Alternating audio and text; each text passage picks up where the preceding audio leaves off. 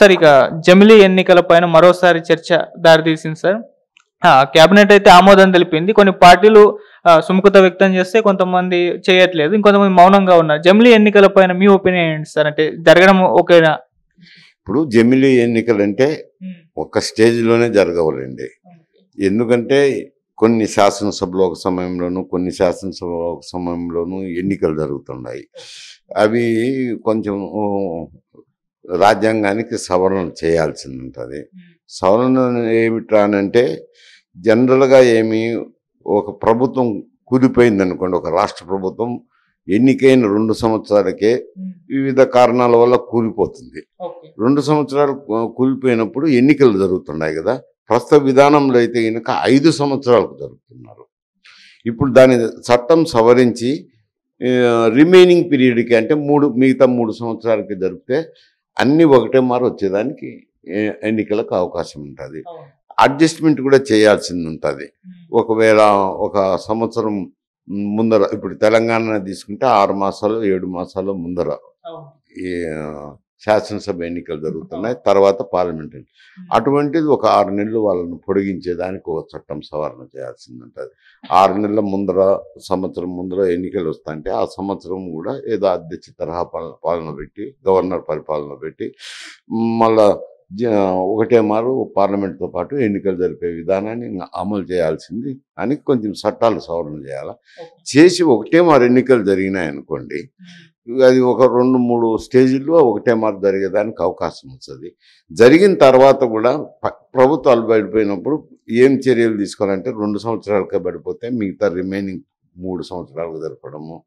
ఒక ఆరు మాసాల ముందు పడిపోతే గవర్నర్ పది ఇటువంటి చట్టాలు సవరణ చేసినప్పుడు అన్ని ఎన్నికలు ఒకటే మారు జరుగుతాయి. అన్ని ఎన్నికలు ఒకటే మారు జరిగితే అది ఏమవుతుంది అని అంటే రేపు పొద్దున అడ్మినిస్ట్రేషన్కు ఇబ్బంది లేకుండా ఉంటుంది. పరిపాలనకు ఐదు సంవత్సరాలు సాఫీగా పరిపాలన జరుగుతుంది. ఇప్పుడు ఈ దేశంలో ఎక్కడో ఒక చోట ఏదో ఎన్నిక జరగటము ఆ ఎన్నికల ప్రసరణం అంతా రెండు మాసాలు మూడు మాసాలు ఉంటుంది. దేశం దృష్టి అంతా ఎన్నికల వైపే ఉంటుంది. ఇప్పుడు హర్యానా తర్వాత మహారాష్ట్ర కొన్ని రెండు మూడు రాష్ట్రాలకు జరుగుతాయి. ఇప్పుడు దేశం దృష్టి అంతా ఆ- ఆ ఎన్నికల ప్రసరణం మీదనే దృష్టి కేంద్రీకరించబడుతుంది. అటు ప్రభు కేంద్ర ప్రభుత్వం కానీ అటు రాష్ట్ర ప్రభుత్వాలు కానీ ఏం జరుగుతుంది ఎట్లా ఉంది అని అటు దృష్టి కేంద్రీకరించడం వల్ల పరిపాలనకు కొంచెం ఇబ్బంది జరుగుతుంది. అందువల్ల జమిలీ ఎన్నికలు మంచిదే. ఎందుకంటే ఎవరైనా వ్యతిరేకించవచ్చు కాదనలేము అనుకో ఆ పార్టీ పార్టీ అభిప్రాయాలు. కానీ ఒక విధంగా చూసినప్పుడు దేశం దృష్టిలో పెట్టుకున్నప్పుడు పరిపాలన దృష్టిలో పెట్టుకున్నప్పుడు రాష్ట్ర పరిపాలన దృష్టిలో పెట్టుకున్నప్పుడు అన్నీ ఒక మారు జరిగితే ఆ క్రతువు అయిపోతే ఎన్నికల క్రతువు అయిపోతే మళ్ళీ పరిపాలన సజావుగా ఉంటుంది కదా. అభివృద్ధి కార్యక్రమాల పట్ల అయితేనేమి సంక్షేమ కార్యక్రమాల పట్ల అయితేనేమి ప్రభుత్వాల దృష్టి సారించేదానికి మా దృష్టి పెట్టి చేయటానికి ఒక ఐదు సంవత్సరాల కాలం ఉంటుంది. ఇప్పుడు ఏమవుతుంది అంటే ఇప్పుడు ఈ దేశంలో ఎక్కడో చోట ఎన్నిక జరుగుతుంటే రాజకీయ పార్టీలన్నీ అటువైపు దృష్టి కేంద్రీకరిస్తూ ఉంటారు. కానీ ఇప్పుడు సార్ మీరు అన్నట్టు హర్యానా మహారాష్ట్ర మళ్ళీ ట్వంటీ ట్వంటీ సిక్స్లో తమిళనాడులో ఎలక్షన్స్ ఉన్నాయి. ఇవి ట్వంటీ ట్వంటీ నైన్లో అంటున్నారు మరి జమిలీ ఎన్నికలు. అప్పుడు వస్తే కానీ ఇవి రెండు మూడు సంవత్సరాల పాలనలో ఉంటాయి. అవి వాటికైతే నష్టం జరిగే అవకాశం ఉంది. ఎట్లా? ఈ ఇంకొక స్టేజ్లో చేస్తారంటే ఒకటే స్టేజ్లో చేయరు. ఒకటే స్టేజ్లో చేయాలంటే కష్టమవుతుంది ఇప్పుడు హర్యానా ఇవి జరుగుతాయి. మధ్యలో వచ్చినాయి అంటే ఇంకా ఒక నాలుగు సంవత్సరాలు ఉంటుంది అన్నమాట నాలుగు సంవత్సరాల తర్వాత కొంచెం ఒక ఆరు మాసాలు ముందుకు జరిపేస్తుంది దానికి ఏం ఇబ్బంది ఉంది? ఇబ్బంది లేదు కదా. మరీ పూర్తి కాలం అంటే బాధపడుతుంది చట్టాలు సవరణ చేయాల. ఇప్పుడు ఈ జమిలీ ఎన్నికలు ఒక మారు జరుగుతాయి. జరిగినాక రాష్ట్ర ప్రభుత్వాల్లో వివిధ కారణాల వల్ల పడిపోయినప్పుడు సంవత్సరానికే పడిపోయింది అనుకోండి ఆ రిమైనింగ్ పీరియడ్ జరపాల్సింది నాలుగు సంవత్సరాలకి ఎన్నిక ఎన్నిక జరపాల్సింది ఉంటుంది ఒకవేళ ఒక ఆరు మాసాలు ముందర పడిపోయినాయి అనుకోండి సంవత్సరం ముందర పడిపోతే అక్కడ గవర్నర్ పరిపాలన పెట్టాల్సి అట్లా కొన్ని చట్టాలు సవరించాల. సవరించి రెండు మూడు స్టేజీల్లో జమిలీ ఎన్నికలకు సిద్ధమవుతుంది దేశం. అయిన తర్వాత ఎప్పుడన్నా పడిపోతే ఏం చేయాలనే దాంట్లో కూడా చట్టాలు సవరణ చేయాలి. సార్ జమిలీ ఎన్నికల వల్ల ప్రాంతీయ పార్టీలకు నష్టం అని కొంతమంది వ్యక్తం చేస్తున్నారు సార్. అంటే మేబీ అంటే కాంగ్రెస్ బీజేపీ అన్నట్టు ఉంటుంది పోరు.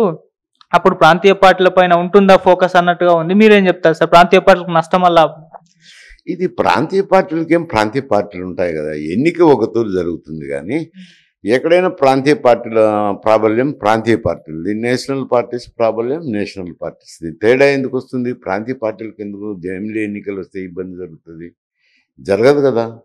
ఎక్కడ జరిగే ఎన్నికలు అక్కడ జరుగుతుంటాయి. ఏంటి? సార్ ఇప్పుడైతే దీనిపైన చంద్రబాబు నాయుడు గారు అండ్ జగన్మోహన్ రెడ్డి గారు కేసీఆర్ గారు వీళ్ళైతే స్పందించలేదు. మరి వీళ్ళు యాక్సెప్ట్ చేసే అవకాశం కనిపిస్తుందా లేదా సార్? అంటే ఇది ఒకటి. మరి రాజ్యాంగం సవరించినప్పుడు సగం రాష్ట్రాలు ఆమోదం తెలపాల్సి ఉంటుంది ఆమోదం తెలపాలన్నప్పుడు రాజ్యాంగ రీత్యా అడుగుతారు. అడిగినప్పుడు వాళ్ళ రియాక్షన్ ఏమో చెప్పాల్సిందే కదా. ఇప్పుడు ఒకవేళ వస్తాయో రావో చట్టం రూపొందుతుందో లేదో క్యాబినెట్ ఆమోదం మాత్రమే పొందింది. క్యాబినెట్ ఆమోదం పెట్టి పొందిన తర్వాత పార్లమెంట్లో ప్రవేశపెట్టాలా? దాన్ని చట్టంగా తీసుకురావాలా? ఇవన్నీ తీసుకొచ్చినప్పుడు కూడా వాళ్ళు వాళ్ళ ప్రాతినిధ్యం ఉన్నాయి కదా ఎంపీలు ఉన్నారు కదా. ఉండినప్పుడు వాళ్ళు ఎట్ట ఓటింగ్ చేస్తారు? ఏమి వాళ్ళ అభిప్రాయాలు అప్పుడు తెలుస్తాయి. ఇప్పుడైతే రేవంత్ రెడ్డి గారు ఇక్కడైతే ఆయన విమర్శించేశారు జమిలీ ఎన్నికల పేరుతో బీజేపీ ఒక కుట్రకు పాల్పడుతుంది వీటిని మనం యాక్సెప్ట్ చేయొద్దు మనం అంతా ఏకదాటి మీద ఉందామని చెప్పేసి ఆయన ఏదో ఆయన తరహాలో చెప్పారు సార్. మరి ఆయన ఉద్దేశం మీ ఒపీనియన్? అంటే అది కాంగ్రెస్ పార్టీ అభిప్రాయమే. అతను మాట్లాడతారు వేరే మాట్లాడడానికి లేదు. కాంగ్రెస్ పార్టీ అయితే జమిలీ ఎన్నికలను వ్యతిరేకిస్తున్నారు. దానికి అనుగుణ్యంగానే అతను కొంచెం తీవ్ర స్వరంలో మాట్లాడిండొచ్చు. కానీ వ్యతిరేకించాల్సిన అవసరం లేదు అంట. నా పర్సనల్ అభిప్రాయం అడిగితే మీరు నేను చెప్పేది ఏమిటంటే అది వ్యతిరేకించాల్సిన అవసరం లేదు. ఎవరికైనా కాంగ్రెస్ పార్టీకైనా బీజేపీకైనా ఇవి ఆ, ప్రాంతీయ పార్టీలకైనా కానీ ఎవరికైనా ఒకటే ఎన్నిక ఎన్నిక ఒకటే కదా. అది ముందు వచ్చిందా వచ్చిందా కాదు కదా. ప్రజల తీర్పు ప్రాంతీయ పార్టీలకైనా వారికి అభిమానం ఉంటే తీర్పు చెప్తారు.